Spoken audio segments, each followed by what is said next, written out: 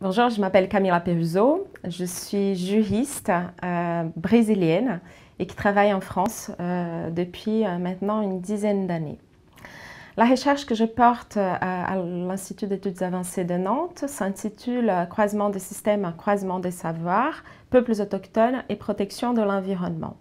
Ce projet s'inscrit dans le prolongement euh, de ma thèse de doctorat qui a porté euh, sur euh, le droit à un environnement sain, un droit international.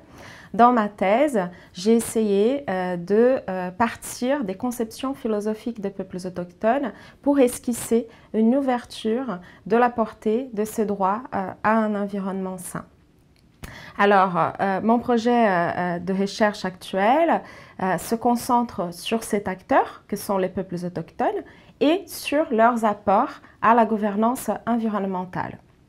Ma problématique est ainsi la suivante. Comment les peuples autochtones, au regard de leur savoir, mais aussi de leurs droits, euh, euh, ainsi que de leur capacité de mobilisation, euh, contribuent à façonner les normes de protection de l'environnement dans les cadres étatiques et au-delà. malgré une diversité de leur situation, les peuples autochtones partagent une expérience commune face au monde occidental. Ils sont des descendants euh, des peuples euh, habitants euh, qui occupaient donc une région géographique qui a été colonisée. Leur place dans les démocraties est peu reconnue et ils sont confrontés à des violations multiples de leurs droits. Pour autant, les peuples autochtones jouent un rôle de plus en plus reconnu, majeur dans la protection de l'environnement, euh, qui euh, est reconnu par les instances euh, internationales, par exemple dans le cadre du régime climat ou du régime pour la biodiversité. Et leur savoir est de plus en plus mobilisé dans le cadre des plateformes scientifiques, par exemple l'IPBES pour la protection de la biodiversité. En effet, les peuples autochtones sont, représentent 5% de la population mondiale, alors qu'ils euh, sont responsables pour la protection de 82% de la biodiversité euh, mondiale. Il s'agit donc d'une question de recherche majeure car à l'heure de l'Anthropocène, euh, la transition écologique à, laquelle nous sommes tenus doit dépasser la dimension uniquement technique pour intégrer une dimension ontologique et logique.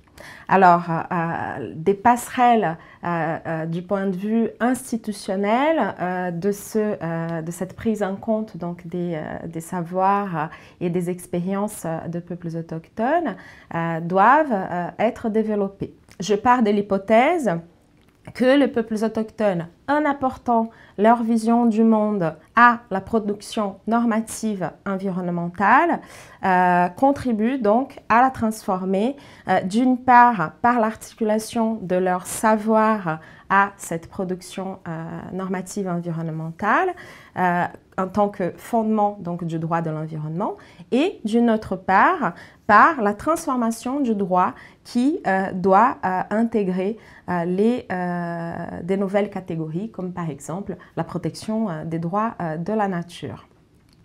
Dès lors, ma recherche se décline en deux axes. Un axe plutôt pratique qui consiste à cartographier à faire une cartographie des formes de participation de peuples autochtones euh, à la protection de l'environnement, et que ce soit dans un cadre institutionnel ou pas, euh, et euh, à analyser donc l'effectivité de cette participation. Cela me permet de préciser mon champ géographique. Donc, je m'intéresse essentiellement aux peuples autochtones dans la région de l'Amérique latine, en raison des, tensions qui existent, mais aussi des, innovations qui existent dans, cette région. Et, bien évidemment, en raison de ma familiarité avec cette région. En effet, en Amérique latine, malgré euh, une, euh, une, protection juridique plutôt, euh, plutôt importante concernant les droits des peuples autochtones, les jurisprudences nationales et régionales montrent que ces peuples sont souvent dans des situations de conflit avec des projets d'exploration, d'exploitation de leurs terres et de, de leurs ressources naturelles. À titre d'exemple, face aux lacunes euh, de mise en œuvre de leurs droits à la consultation libre, préalable et éclairée, les peuples autochtones dans la région commencent à développer euh, un protocole, un instrument donc normatif, donc des protocoles autonomes de consultation, qui l'impose à, l'État et aux tierces parties en vue donc de euh, pouvoir mettre en œuvre leurs droits comme ils l'entendent.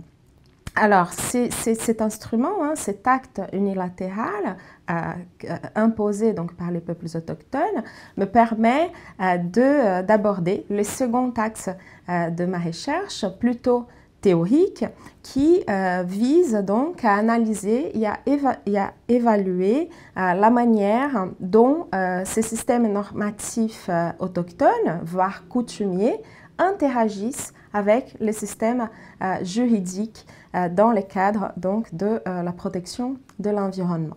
Plus largement, cette question, euh, cette thématique permet, me semble-t-il, d'étudier la manière dont le droit peut s'adapter et innover pour faire face aux situations mouvantes et notamment aux nouvelles formes de participation en quête de réponse à la crise écologique.